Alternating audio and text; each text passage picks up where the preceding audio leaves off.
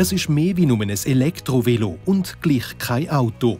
Die E-Bikes von Carvelo 2 Go sind ideal für den Stadtverkehr. Sie haben einen starken Antrieb und sind in verschiedenen Ausführungen geeignet für den Lastentransport. Carvelo 2 Go ist eine Plattform für E-Cargo-Bikes, also für E-Lastenräder, wo man verschiedene Sachen kann transportieren oder auch mit der Familie Ausflüge machen zum Beispiel. Das ist eine nationale Plattform von der Mobilitätsakademie in Bern, wo schon verschiedene Städte das lanciert hat und seit letzten Sommer gibt es es auch in der Stadt St. Gallen. Also wir denken, dass es Lastenvelo und gerade elektrisch unterstützt ja sehr geeignet ist in St. Gallen, wo man auch ab und zu muss ein bisschen Höhenmeter überwinden muss.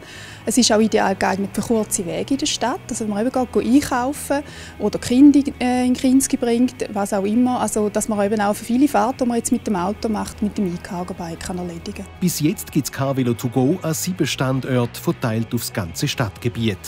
Die Miete von einem Lasten-E-Bike ist schnell und unkompliziert. Man muss sich registrieren auf der Plattform unter www.carvelo2go gratis und dann kann man es buchen, stundenweise. Es kostet 5 Franken plus jede Stunde 2 Franken. Es gibt auch die Möglichkeit, um ein Jahresabo zu lösen, wo man dann noch ein bisschen günstiger kommt. Die Transportlast ist bei einem Velo beschränkt. Bei einem grösseren Einkauf kann man nicht aufs Auto verzichten.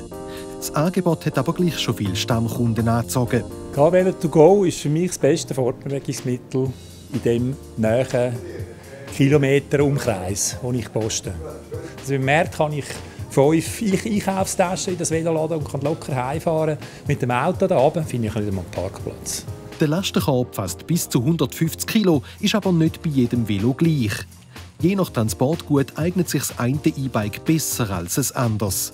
Der Elektromotor ist stark genug für hügeliges Gelände und hebt auch über längere Strecken.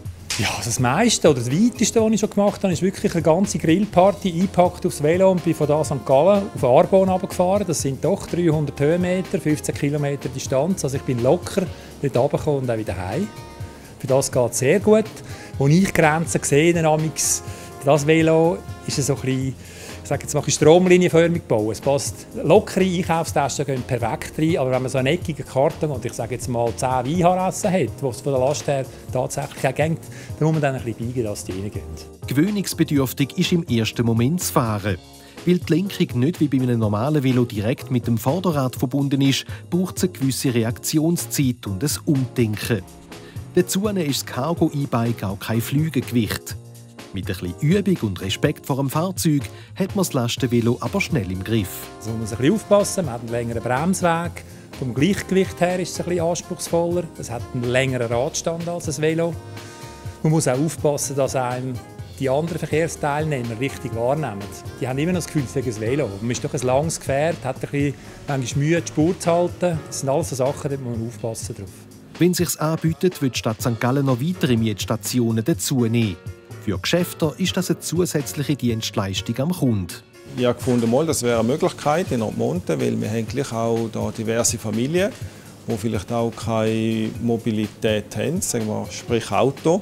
Und für das ist es genau eine richtige Sache.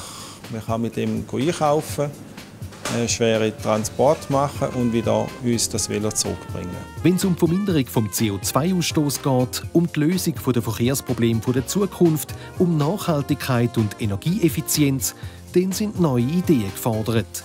Ein Mietservice für ein Elektrolastenvelo in der Innenstadt ist sicher einmal ein interessanter Ansatz.